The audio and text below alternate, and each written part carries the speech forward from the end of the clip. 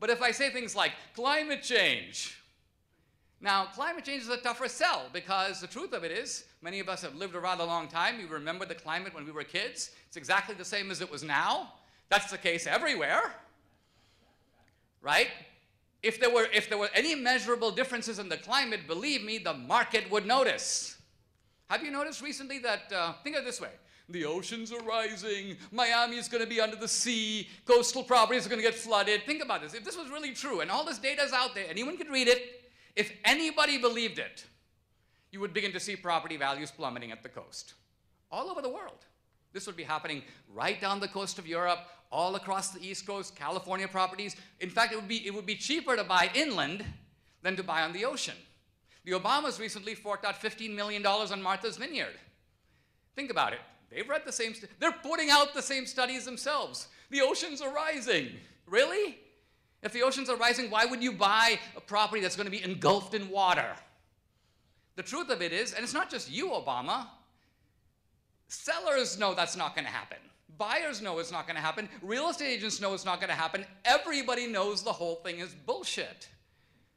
Everybody knows it's an open secret. But in another context where your wallet is not involved, in another context, oh, I'm very worried about climate change. I think I'm going to stop using straws. I think that's a very important step I'm taking to make the climate better. But all your other actions show that you actually know that this is not true. So you're playing a game. It's all about a game. There's a, there's a great scene in 1984.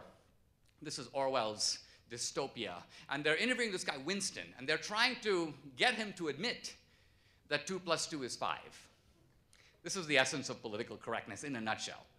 Winston, you got to admit that 2 plus 2 is 5. And Winston goes, No, no, I've given up my wealth, I've given up my family, I've given up everything.